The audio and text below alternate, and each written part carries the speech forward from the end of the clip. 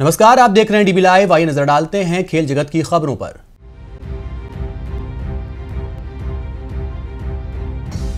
Bharat England के पाँचवें test के दूसरे दिन का खेल जारी। भारतीय गेंदबाजों ने इंग्लैंड पर कसा शिकंजा। पेशेवर मुक्केबाज विजेंदर सिंह के सामने कड़ी चुनौती। तंजानिया के मुक्केबाज फ्रांसिस चेका से आज होगा मुकाबला। WBO Asia Pacific super middleweight का खिताब बचाने के लिए भिड़ेंगे विजेंदर।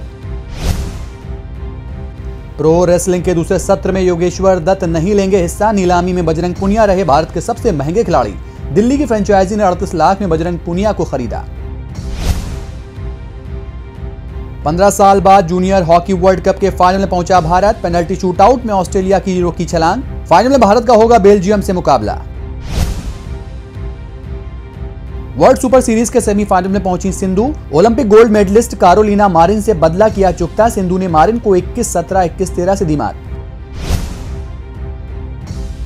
और भारत और पाकिस्तान क्रिकेट सीरीज़ को लेकर आज कोलंबो में अहम बैठक। दोनों देशों के बीच क्रिकेट बहाली को लेकर बोर्ड अधिकारी करेंगे चर्चा। काफ़ी दिनों से रद्द है भारत पाक क्रिकेट श्रृंखला।